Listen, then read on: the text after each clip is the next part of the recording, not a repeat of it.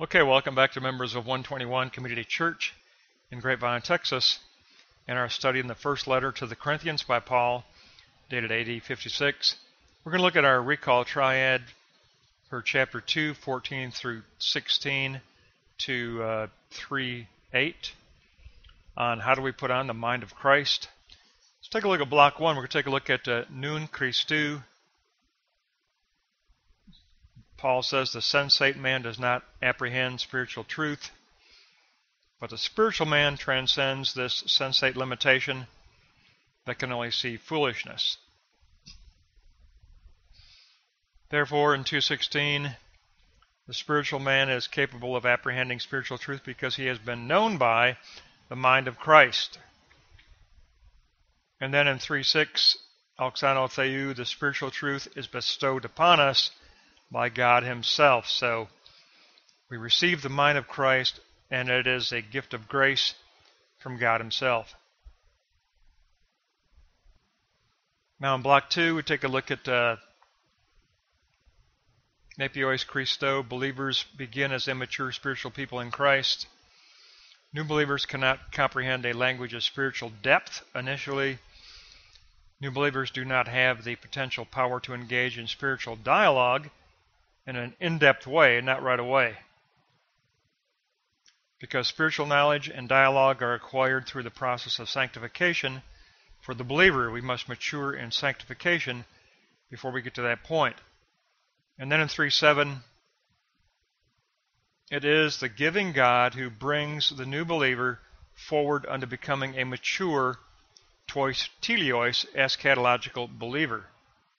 Our sanctification is due to God bringing us forward in maturity towards sanctification, where we, we can become the mature eschatological people. Now, in block three, the limitation of the lingering sensate mode of conduct is taken up. The sensate being of a new believer still lingers in the background, trying to limit our spiritual growth the sensate individual is the old self that wars against the new mind which is trying to emerge. So putting on the mind of Christ is a struggle of spiritual warfare.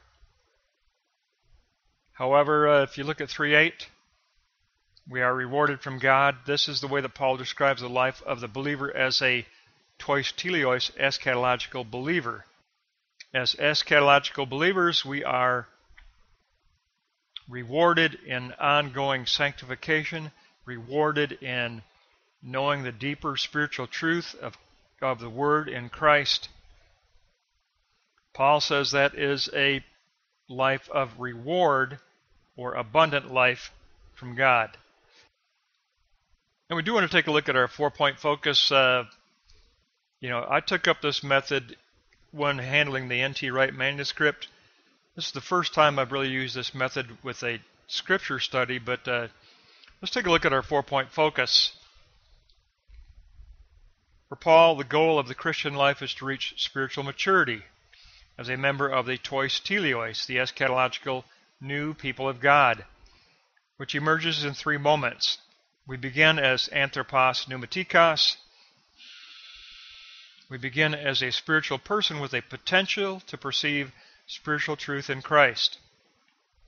Two, the sarkikoi anthropoi, a tois teleos must negate the old self and repent from the previous sark's lifestyle of the flesh. Repentance is required. And then three, the tois teleos, by affirming the pneumatikos and negating the sarkikoi, will put on the mind of Christ. So our three moments, our recall moments, are really affirmation of pneumatikos, negation of, anthrop- of uh, sarkikoi, and putting on the Nun Christou, the mind of Christ. So, affirm pneumatikos, negate sarkikoi, put on nous Christou, the mind of Christ. Affirm the spirit, negate the flesh, put on the mind of Christ. It's a great teaching, and it really is a kind of overlaps of the end of chapter 2 and the beginning of chapter 3.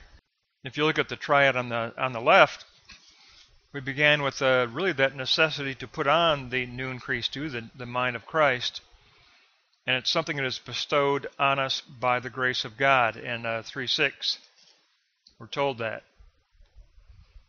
But we begin as an immature believer. In block 2, we begin as an immature believer.